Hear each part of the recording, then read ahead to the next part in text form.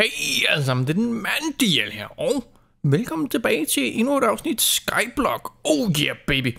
Sidste gang, der gik det jo ikke så godt. Jeg fandt jo meget hurtigt ud af, at det hele kunne være rigtig svært herinde i Skyblock, så derfor har jeg forberedt mig væsentligt mere til det her afsnit end til sidste afsnit. Jeg har udvidet platformen lige her, hvor at vi har madtræet herover. Jeg har erstattet det hele med jord, fordi så kan vi bare plante træer det, hvor vi har lyst til.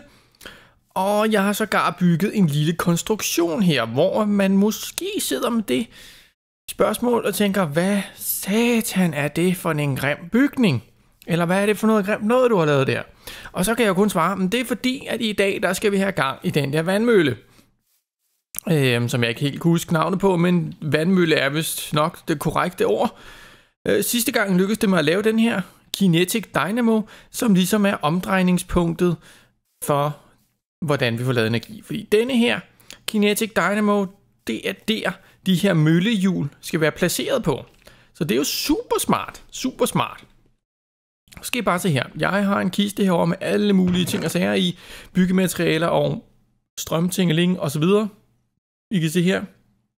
Der har jeg lavet nogle water wheels.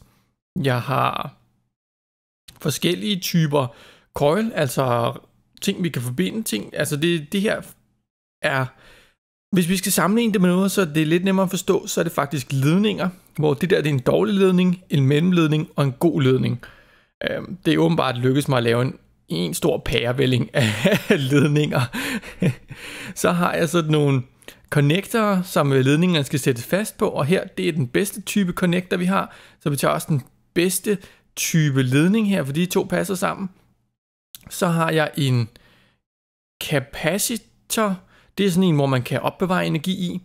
Så denne her, det er ikke en af de bedre. Det er faktisk den dårligste af dem, men vi skal jo starte et sted, så derfor har jeg lavet den. Øh, så har jeg øh, noget værktøj til moddet her, sådan en wire cutter, hvis jeg for eksempel har lyst til at klippe ledningen over, og hvis jeg ikke skal miste den, så kan jeg bruge sådan en. Og så har jeg også den her engineers hammer, som er de ting, vi skal bruge for at sætte det hele op. Godt.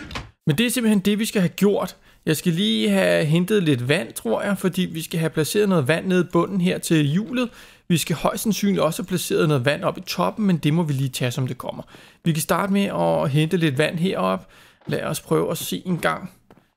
Uh-huh. Her, der har vi jo... det skal jeg rydde op på et tidspunkt. Det er maskiner, der står og er helt tosset. Men det her var den maskine, vi ligesom skulle have lavet sidste gang, som jeg har lavet off-cam, fordi det var 200 år og grind alle de diamanter der. Og så har jeg lavet sådan en generator, for vi skulle også bruge noget speciel energi for at holde den her kørende. Ja, puha. Det var en masse, masse ting, som øh, vi lige fik gabt over i sidste episode, og det var måske lige lidt mere, end hvad vi burde have gabt over. Lad os prøve at se en gang. Øh, jeg tænker, at ja, det kan godt være, at vi lige skal vente lidt med det. Vi kan sætte, øh, starte med at sætte hjulet på her. I kan se, så stort er hjulet. Mm. Og vi kan sågar connecte flere. Men jeg tænker, vi måske godt kunne tænke os bare at teste et enkelt til at starte med. Um, vi kan lige prøve at putte noget vand ned. Lad os se der. Godt. Og se, kan vi komme forbi her? Det kan vi godt. Det virker ikke som om, det fungerer super godt på den måde der med det vand der. Øh, så det kan godt være, at jeg lige skal fylde det helt op. Sådan der. Så er det fyldt helt op, fordi nu løber vandet nedad. Og jeg kan se, at den her den bevæger sig sådan langsomt, og det er jo det, vi gerne vil have. Vi vil gerne have, at det her hjul bevæger sig. Og jeg har jo lavet sådan, så der er plads til to mere, da jeg har to hjul mere. Man kan så også udvide den her, hvis man har behov for det. Og min tanke er, at jo flere vi har af de her sådan, hjul, jo mere energi må vi nødvendigvis lave. Vi kan starte med lige at prøve at sætte den på, bare se om der kommer energi ind i den. Det tror jeg ikke, der gør. Vi er vist nødt til at have de her sådan, øh, ledninger på, før det kommer til at virke. Lad os prøve at se. Hvis vi nu tager en connector her. Yes, det kunne være, at vi skulle... Kan vi lige komme op en gang? Jeg tror lige, vi tager nogle blocks, fordi det kunne godt være, at vi skulle udnytte... Nej, det ved jeg faktisk ikke. Jeg tror, vi sætter den her ved nærmere eftertanke. Så kunne vi måske lige fjerne den der engang. Man kunne bare lige sætte den her over, for eksempel. Det gør ikke... Eller gør den noget? Nej, det ser ud som om, at der ikke er nogen problemer. Fint. Så kunne jeg sætte den her for eksempel ned her. Så sige, jeg kunne måske godt tænke mig sådan en der. Og så kan vi tage sådan en wire her, der, der. Så er de connected. Det vi nu skal sørge for er, at den her den er sat til input. Jeg mener, at den der skal være blå, før den er sat til input. Det vil sige, så kan vi tage vores værktøj her. Lige højre klik en gang. Så er den blå. I kan se, nu bliver den her fyldt med energi. Fyldt med energi. Og det er jo ikke fordi, det går særlig hurtigt. Det går faktisk forholdsvis langsomt. Øhm, og det er jo ikke så godt. Det man kunne gøre var, at man kunne sætte noget vand op i toppen, så den bevæger sig hurtigere, men vi kan også lige prøve at se, om vi får hurtigere resultater ved putte den her på. Lige nu, der går det sådan relativt langsomt, ikke? Lad os prøve at sætte en mere på og se, hvor hurtigt det så går. Nu har vi to på. Lad os prøve at se en gang her. Ah, det må sige, så gå væsentligt hurtigere nu. Det går meget hurtigere. Så nu ved vi altså, at hvis vi har to af dem, så går det meget hurtigere. Lad os prøve at se, hvis vi putter den tredje på her. Vi prøver lige igen. Min telefon den beslutter lige for at ringe, og det sker jo en gang imellem. Men det ser ud som om, at de her tre hjul gør, at det hele går sådan meget hurtigt. Det vi, det vi kunne gøre, det var, at vi kunne rent faktisk teste, om det hjalp at smide noget vand op i toppen. Det vi kan gøre, er, at vi kunne for eksempel lige tage, har vi noget mere træ? Det har vi, men sanden. Vi har men sanden noget mere træ her. Så det er jo rigtig godt. Vi skal også lige have fingrene i nogle af de her sådan stairs, fordi dem har jeg brugt lidt til at bygge lidt med deroppe, I kan se. det kan godt være, at strukturen ikke kommer til at se sådan her ud, men lige nu, der tester vi altså bare.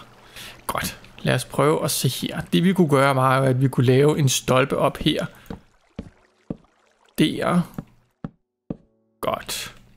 Så kunne vi jo prøve at se, om vi kunne lave noget smart her. Det er jo ikke sikkert, at vi kan det. Men vi kunne da godt se, om det kunne lade sig gøre at lave et eller andet smart her. Fordi det vigtige er, hvis, det, hvis vi, får, vi skal have noget vand op i toppen her. Der. Skal vi lige se, hvis jeg placerer noget. Den her skal selvfølgelig væk, den her kan. Det ser ud til, at vi er nødt til at fjerne den. Det går også nok. Det er ikke det, der skal skille os ad. Det er det jo bestemt ikke. Det vi kunne gøre, er, jeg tror måske, der er et for stort gap her. Jeg tror måske, at den der skal en længere ned. For eksempel, hvis den gik her. Ja, det tror jeg, den er bedre, fordi så virker det som om, at vandet bedre kan løbe den vej. Hmm. Det kan vi jo lige, det, det kan jeg lige prøve en gang. Det prøver jeg lige at fikse. Okay, lad os prøve at se, om vi kan se, at det vand her, uden at det går helt amok. Lad os prøve at se, det løber så ud til siden, og det er vi jo ikke så interesseret i, så muligvis kunne det være, at vi skulle placere nogle af dem her i siden også, for at se, om det kunne have en, kunne hjælpe lidt. Lad os prøve at se en gang, om det kunne lade sig gøre. Den skal jo så op her, kan man sige. Der. Ja. Godt. Sådan der. Det bliver lidt en sjov konstruktion, den her, men det gør heller ikke noget. Fordi vi kan altid smukificere den senere hen. Men lad os prøve at se her, om, om det gør udfaldet, det her. Det er jo ret vigtigt, at vi får lidt gang i de her møllehjul. Lad os prøve at se her. Det virker som om, at den bare falder ned her, ikke? Det virker ikke som om, at den rent faktisk går videre. Den falder bare ned der, og det er vi jo ikke sådan super interesseret i. Det vil sige, at denne her muligvis skal... Lad os lige prøve at sætte en blok længere op, lad os se, om det hjælper. Ja. Det virker ikke som om, at det gør den store forskel, vel? Så placerer den der, går den den vej, så placerer den der. Sker der ikke så meget. Hvad hvis jeg placerer den ud siden? Nej, okay. Jeg prøver at placere nogle flere water sources og se, om det gør en forskel. Godt. Jeg har fundet en form herover, som jeg er så nogenlunde tilfreds med. Den skal nok pusses lidt af og blive lidt pænere og sådan, men vandet løber rundt, og det ser ud som om det er sådan rimelig effektivt. Vi ser sådan her, det kommer til at se ud, og det er egentlig ganske udmærket, synes jeg. Så det kører vi jo nok med, fortsætter vi med. En ting har jeg tænkt mig, jeg har tænkt mig at skifte den her kasse ud med en, der kan rumme lidt mere energi, bare for at se, hvor hurtigt det bliver fyldt op. Nu tager vi lige den her gode wire, og så miner vi lige den der, og den her. Lad os prøve at se en gang. Jeg har lavet materialerne, så vi rent faktisk kan lave en bedre. Skal vi lige se, har jeg noget treated wood planks? Der har jeg to, og jeg skal bruge lidt mere, så vi er lige nødt til at lave nogle af dem. Lad os prøve at se her en gang. Det er jo heldigvis meget simpelt. Lige noget creosote oil ind, og så har vi den. Godt. Lad os prøve at se. Vi skal bruge dem ned i bunden. Så skal vi bruge en block of lead her. Og jeg kan se, at jeg er lige kommet afsted uden aluminium, medmindre vi har noget herinde. Øh, nej, men heldigvis har jeg noget aluminium herover i gang med at blive lavet. Det glemte jeg bare lige at tage med. Sådan er det jo nogle gange, når man har glemt sig med. Så, så går det hele lidt hurtigt en gang imellem. Og sådan er det jo. Det er der ikke så meget at gøre ved. Heldigvis kan vi lige nappe noget aluminium hernede. Og så kører vi. Jeg tror bare, vi, ah, vi tager bare det hele med. Vi skal egentlig kun bruge to stykker, men vi tager bare det hele med. Det gør ingenting. Det er helt fint. og grunden til, at vi laver en stor en, det er, fordi jeg tænker, at vi har materialerne, og hvis den nu... Jeg ved ikke, om den er mere modtagelig over for energi, eller om den bare kan rumme mere. Det kan godt være, at den både hurtigere og bedre. Og der var et eller andet, der gik galt. Lad os prøve at se en gang her. Vi må lige... Gør vi lige sådan her. Slå den lige op en gang. Den er HV. Det er HV'en, vi går efter, ikke? Jo, HV. Der. Der skal vi bruge... Nå, vi skal bruge redstone hernede. Ah, jeg troede, det var tre gange woodplanks. Så finder vi lige noget redstone. Jeg har faktisk ikke redstone lige nu, men jeg tænker, vi måske bare lige kan, kan bruge den nyfundne energi, det nye energiapparat til rent faktisk at generere lidt til os. Lad os prøve at se en gang her. Hvis vi nu sætter det op, vi havde igen, så burde det kunne lade sig gøre. Lad os se, vi sætter lige den her capacitator. Den er stadig fyldt med energi. Så sætter vi lige connectoren på igen. Der. Og så tager vi lige wiren igen. Der. Der. Det vi så skal have gjort, det er, at vi skal tage denne her sådan SIF. Sætter vi den bare lige her. Uh. Okay, Den lavede bare en lille lyd. Det var det, der undrede mig lidt. vi sætter en connector på. Så siger vi, at øh, jeg tror faktisk, vi skal have en ny connect. Jeg ved ikke, om vi bare kan connecte den sådan her. Nej, det ser ikke sådan ud. Så vi skal have en ny connector. Vi sætter en ny connector på der. The connection is obstructed. Okay. det, kan, det må vi jo så lige gøre noget ved. Øh, den må åbenbart ikke være der. Hvad så, hvis vi sætter den ud siden? Kan vi gøre det? Det kan vi godt. Okidoki. Lad os prøve at se. Så skal vi have den her, så den rent faktisk har et output. Sådan der. Så burde den her få strøm. Åh, det er input. Er det output, det der? Sådan, og den her op, den er god nok. Super. Så kan vi rent faktisk give den her noget dust, og så burde den kunne stå automatisk lige og lave lidt og finde noget øh, redstone til os. Godt, lad os prøve at se her. Kan den her, kan den holde den kørende? Den mister selvfølgelig noget RF deroppe. Nu er det spændende, om den her kan holde den kørende. Nu er den her op på max lige om lidt. Lad os se en gang. Ja, kan den holde den kørende, eller mister den al energien? Mm-hmm. Jeg kan ikke helt se det, fordi der ikke er nogen baggrund på deroppe, hvor at RF'en står. Det ser ud som om den rent faktisk stiger. Den stiger. Godt. Uha, vi kan se, det her det er jo noget, noget nemmere måde at få ressourcer på, fordi den står bare og arbejder sådan her. Vi skal selvfølgelig bare have sat det op på en måde, så det ser pænt ud. Men lige her nu, der er det altså bare en hurtig og nem måde at få redstone på. Vi giver den lige et stykke brød mere, fordi så arbejder den lidt hurtigere. Ah, Jamen altså, vi skal jo så bruge 9 stykker redstone, og lige nu har vi 4. Så den her kan jo bare stå og arbejde i ro og mag, og så ser vi, om øh, ikke vi kan få det redstone, vi skal bruge. Lad os prøve at se i gang. Jeg har lavet sådan en redstone blok her, og nu har vi simpelthen en bedre capacitator. Lad os prøve at se, om det her rent faktisk hjælper lidt på det. Det er ikke sikkert, at det rent faktisk gør nogen forskel anden, at den kan opbevare mere energi. Men det er jo selvfølgelig også værd at tage med, kan man sige. Fjerner vi lige de her wires. Godt. Fjerner denne her. Bummelum. Væk med den. Lad os prøve at se. Så tager vi sådan en, en stor en. Lad os prøve at connecte den en gang. Siger vi bum. Hvis jeg ikke bum. Eller det gjorde jeg så, men det var ikke nødvendigvis det, der skulle til. Connecte de to der. Og den står bare og samler energi med det samme. Det ser ikke bare ud som om, at den er hurtigere på nogen måde, men det gør heller ikke så meget. Det vigtigste er jo sådan set bare, at det fungerer. Det ser ud som om, den er, den er sat præcis op, som ved den sidste. Lad os prøve at se her. Okay, den her den stiger lidt lige nu. Når den rammer max herop, så burde den gerne begynde at oplære energi herover i den her. Lad mig prøve at se. Det er ikke sket endnu, vel? Øh, det input, og det output. er okay. Det er som om, at den ikke helt... At der er et eller andet... Okay, nu begynder den at oplære. Fint nok. Den begynder at oplære energi. Men umiddelbart er mit bud, at de tre her ikke er nok til at holde mere end den her kørende.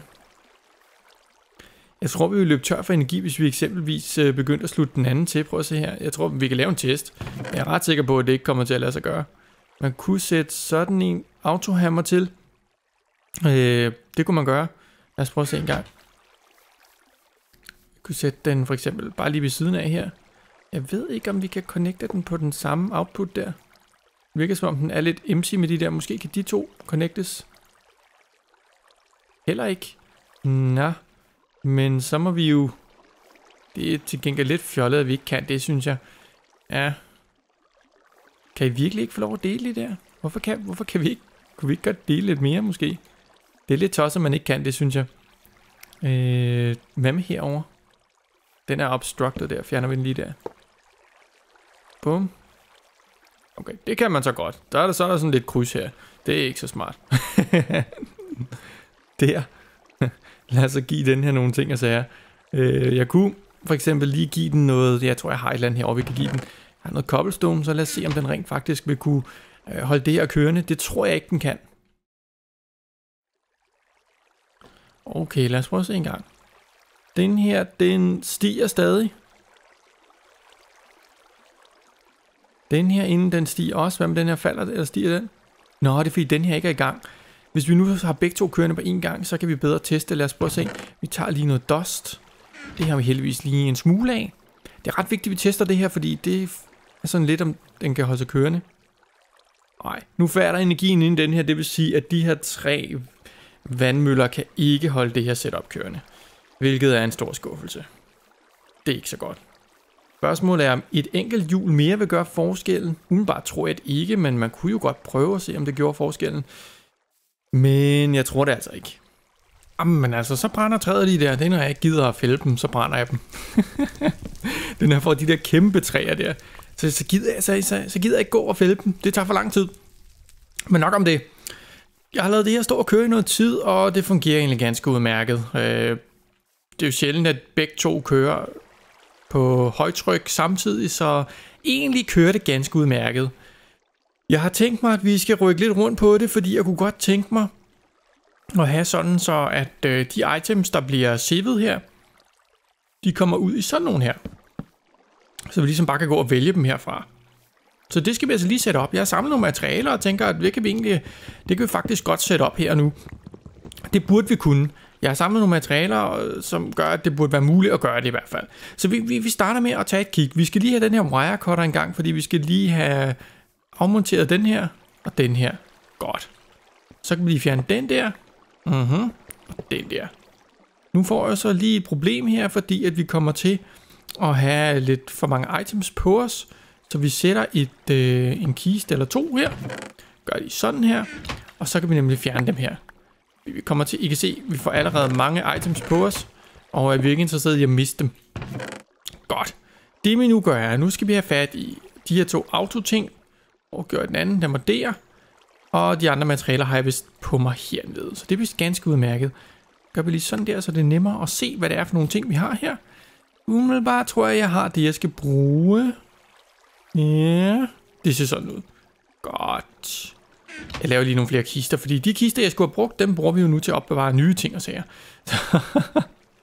og nu gik jeg selvfølgelig uden mit træ. Det er klart. Ej, din kæmpe klov. Du skal da ikke gå uden dit træ. Du skal huske at tage dit træ med, ellers så går det ikke så godt. Havde jeg ikke noget træ? Jo, jo, det var der. Det var der. Fint. Vi skal bare lige have et par kiste mere i hvert fald. Lad os prøve at se en gang her. Der. To nye kister. Smukt. Det vi nu skal have er øverst, der skal vi jo have hammeren her. Og øh, vi kunne måske starte med at gøre sådan her. Lad os prøve at se. Hammeren vil vi have øverst. Kunne vi sætte den for eksempel herop måske? Hvis vi så lige connecter den en gang. Det kan være, vi ved hvad, jeg tror altså også, vi tager den her op i luften. Ej, jeg har nu også smidt mit værktøj væk der. Sådan. Sådan, fint. Jeg tror, jeg, tager, jeg tror, vi tager det hele op i luften. Kan jeg ikke bare gøre sådan der? Så burde jeg få det hele. Super. Var der noget, der hernede? Ah, det var der ikke. Godt. Fint. Jeg tror bare, det er nemmere at have den op i luften. Det er bare en tanke. Øhm, lad os prøve at se her. Hvis vi har den op i luften, så er der flere steder, vi kan connecte. Lad os prøve at se, hvis vi nu sætter den for eksempel der. Godt. Så kunne vi tage den her connector. Kan vi tage den fra bunden? Det kan vi. Fedt. Der. Der. Godt. Så skal vi bare lige sørge for, at den er åben for business. Sådan der, tror jeg nok, var den blå den skulle have. Sådan der. Den stiger nu. Super fedt. Super fedt. Vi laver flere af de der connector og sådan der. Godt. Lad os prøve at se en gang her. Så vil vi gerne have en connector ud her. Og en connector. Ah, vi vil nok ikke have den der, for vi vil godt have en kiste ovenpå, tror jeg. Øh, eller det kunne vi godt. Ved I hvad, det kan vi godt. Vi kan godt sætte den her. Det gør ikke noget. Det er fint. Det håber jeg. Ellers må vi lave det om. Sådan der. Bum. Bum. Og den der, den ser god nok ud. Fint. Det vi så skal gøre, det er, at vi skal sørge for, at den her er connected med en kiste. Det kunne vi for eksempel gøre sådan her. Der. Fordi heroppe, der kunne vi måske godt tænke os at have noget, de ting, som den skal sive, eller ikke, de ting, som skal hamre, så for eksempel, hvis vi har noget cobblestone, lad os prøve at se.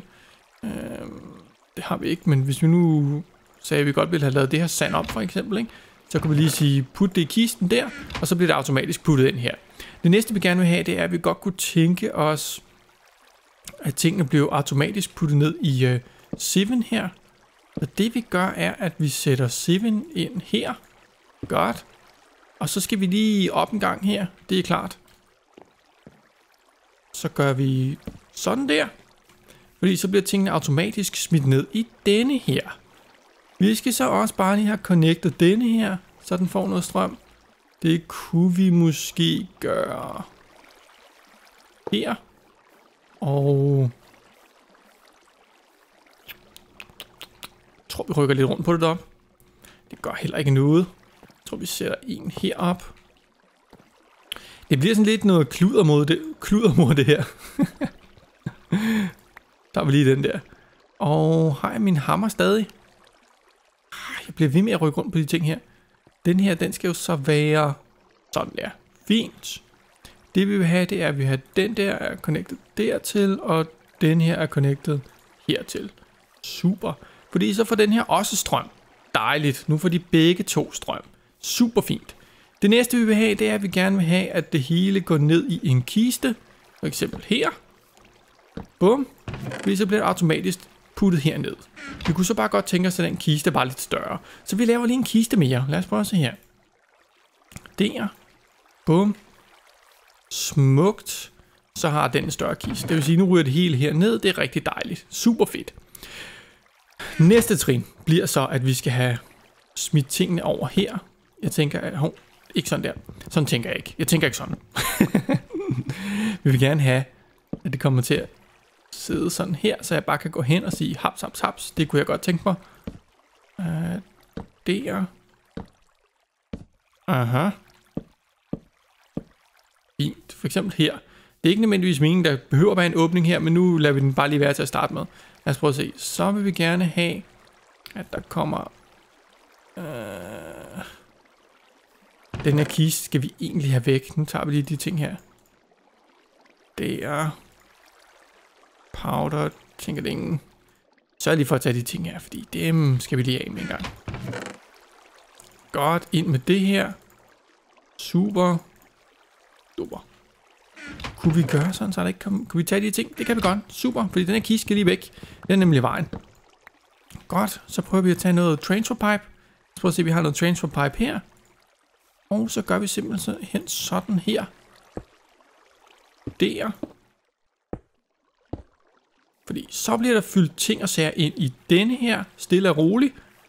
Hvis vi så sørger for, at den kommer sådan her, så bliver de alle sammen connected sådan her. Det vil sige, at de her bliver stille og roligt fyldt med items, og så kan jeg bare gå og hente dem her.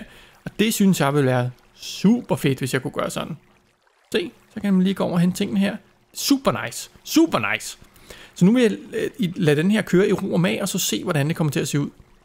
Jeg har gået og fyldt sådan lidt ting og sager i. I kan se, at nogle af tingene kommer til at ligge der flere gange. Så må man bare lige gå rundt og rykke rundt på dem. For eksempel den der, den ligger der tre gange nu.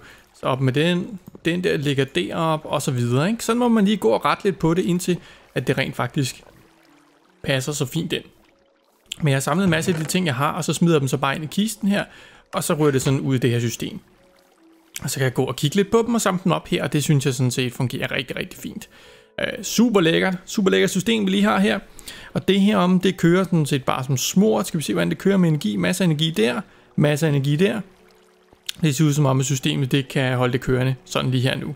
Så det er super dejligt. Uh, vi skal nok arbejde lidt mere med designet og så videre, men det er da i hvert fald en rigtig, rigtig god start, vil jeg sige. Jeg synes, det ser super godt ud. Det er også her, jeg vil runde episoden af fordi jeg synes, vi har nået, hvad vi burde. Vi fik nemlig det her strømsystem op at køre.